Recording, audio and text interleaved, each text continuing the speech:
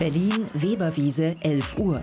Hunderte Demonstranten starten von hier zu einem verbotenen Marsch durch die Hauptstadt.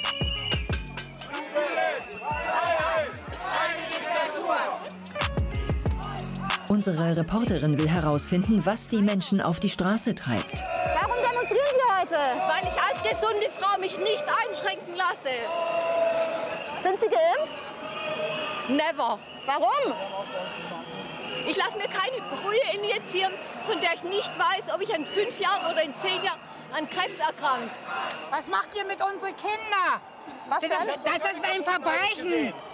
Zwölfjährige zu, zu impfen, die haben ein gesundes Immunsystem. Oder? Sind Sie geimpft? Nein. Ich werde mich auch nie impfen lassen, Warum? weil das ein Verbrechen an der Menschheit ist. Warum lassen Sie sich nicht impfen? Weil ich keinen Grund sehe. Ich bin gesund. Naja, aber es gibt ja sowas wie einen Solidaritätsgedanken, oder? Das ist meine Solidarität mit allen gesunden Menschen auf dieser Welt. Ja, aber je mehr Menschen sich impfen lassen, umso weniger wahrscheinlich ist es, dass sich viele Menschen infizieren. Wer sagt das? Die Wissenschaft. Die Wissenschaft. Mhm. Okay. Meine Wissenschaft sagt was anderes. Haben Sie Ihre Und eigene Wissenschaft? Ich habe nicht meine eigene Wissenschaft, aber ich habe, ähm, ich habe einen gesunden Menschenverstand und ich habe ein Bauchgefühl. Auf den Intensivstationen liegen laut RKI jetzt zum größten Teil ungeimpfte Menschen. Sagt wer? Das RKI. Oh, das RKI. Von der Bundesregierung bezahlt, nicht unabhängig. Die Demo wurde offiziell untersagt. Das interessiert die Teilnehmer wenig. Das ist keine Demo. Wir gehen hier spazieren. Die Demo ist verboten. Was ist das dann hier? Gehen spazieren. Die Polizei greift durch, konfisziert eine Lautsprecheranlage.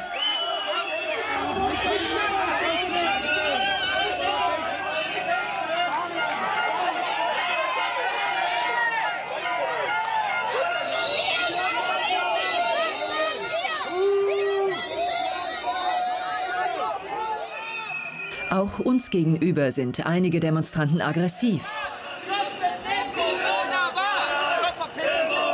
Warum weg mit Merkel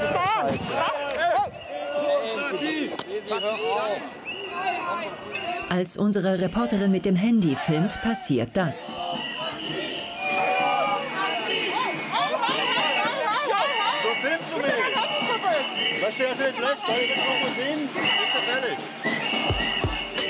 Die Polizei lässt den verbotenen Aufzug gewähren. Die Leute ziehen unbehelligt durch die Stadt. Schließt euch an! Schließt euch an! 16 Uhr. Tausende Demonstranten haben sich am Leipziger Platz versammelt.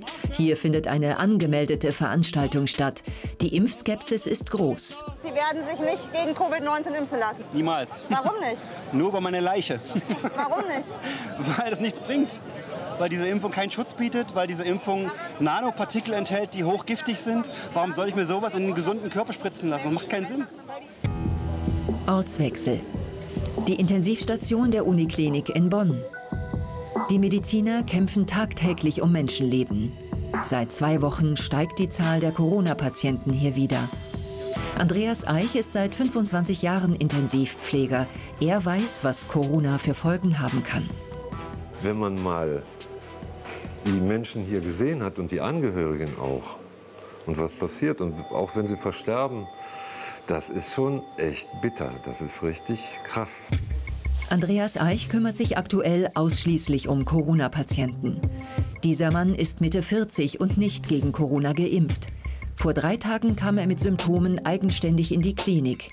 Innerhalb weniger Stunden wurde er so schwer krank, dass er jetzt beatmet werden muss. So, nicht erschrecken. Ich heb sie mal ein bisschen nach oben. Eins, zwei, Viertel vor drei. Okay, prima. Der Leiter der Intensivstation Professor Christian Putensen erzählt uns, von insgesamt 23 Covid-Patienten sind aktuell neun auf der Intensivstation. Sieben von ihnen sind nicht geimpft. Also die schweren Verläufe beobachten wir derzeit bei den nicht geimpften Personengruppen. Und dazu gehören offensichtlich auch die Jüngeren. Zurück in Berlin. Wir zeigen die Bilder von der Intensivstation den Demonstrierenden. Glauben Sie den Aufnahmen oder was denken Sie darüber? Ich glaube das ehrlich gesagt nicht. weil in Deutschland jede Menge Leute geimpft sind, die in den Krankenhäusern inzwischen liegen. Und dass eine Station jetzt rausgesucht wurde, wo nur Ungeimpfte liegen, ich habe da ehrlich gesagt Zweifel dran. Ja. Laut RKI ist der Großteil derer, die auf der Intensiv liegen, ungeimpft. Das ist eine Verschwörungstheorie von Ihrer Seite, würde ich sagen. Ja, ich meine, kann ja sein, dass das Ungeimpfte sind, die da liegen. Aber diese Bilder bringen Sie dann im Fernsehen, um den Menschen Angst zu machen. Das spaltet Familien. Das, ja, das, das spaltet. Meine eigene Familie ist gespalten, ja, weil ein Teil hat sich impfen lassen und ein Teil nicht, so dass die Leute nicht mehr miteinander reden können. Das haben Sie geschafft. Auf der Demo hören wir auch abstruse Vergleiche zum Dritten Reich. Der Impfzwang. Impfen, impfen, impfen, wie ein Wahn. Wir sind wieder da, wo wir mal waren, im Dritten Reich bzw. Äh, in der DDR. Ich glaube, da war es beinahe nicht so schlimm wie jetzt. Sie vergleichen die Zeit des Dritten Reichs ja, mit der Demokratie ja, heute. Weil die Demokratie wird ja abgeschafft. Wir werden ja immer mehr eingeschränkt und vor allen Dingen die Ungeimpften kriegen ja den Stempel ne, und werden immer mehr äh, praktisch unterdrückt. Glauben Sie, das Schicksal der Juden im Dritten Reich ist ähnlich derer, die sich jetzt sozusagen nicht impfen lassen wollen? Oder ja, ich finde es schon. Ich habe Reden von Hitler gehört. Also da konnte man keinen Unterschied machen von Reden von heutigen Linken und was Hitler damals geredet hat. Gewagter Vergleich. Bitte? Gewagter Vergleich. Nein, Sie müssen sich Hitler mal anhören. 18 Uhr. Die Polizei fordert die Menschen mehrfach auf, den Platz zu verlassen. Ich wiederhole nochmal den Hinweis, dass die Versammlung hier auf dem Leipziger Platz beendet ist und Sie die Örtlichkeit zu verlassen haben. Zahlreiche Demonstranten bleiben dennoch.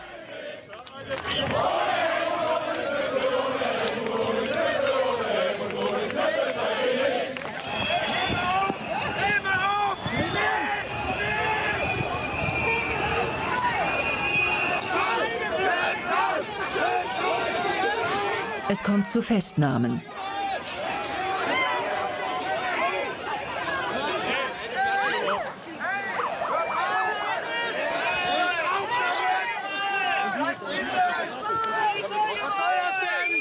Die Stimmung heizt sich auf.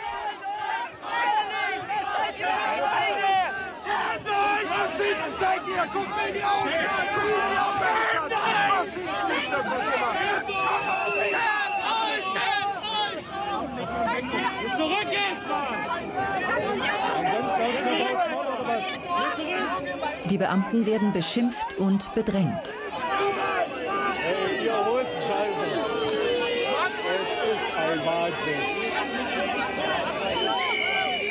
Siehst du doch, hier, guck mal an hier. Das kann unser Staatsschutz.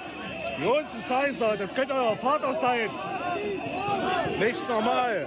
Nazis raus! Nazis raus! Nazis raus! Guck mal den Mann Nazis raus! Nazis raus! Nazis raus! Mörder wollen heute wieder an Mord begehen! Die Polizei antwortet mit Reizgas.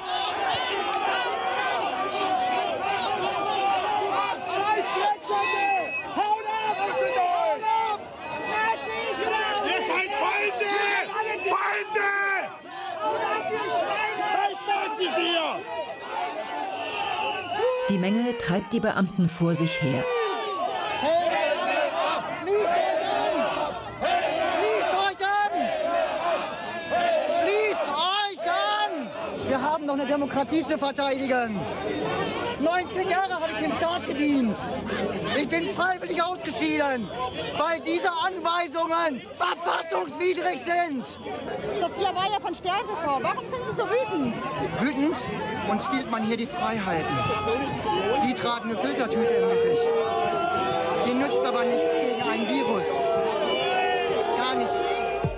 In den Abendstunden gehen die Leute nach Hause. Fazit des Demotages: 119 Festnahmen und 47 Strafermittlungsverfahren.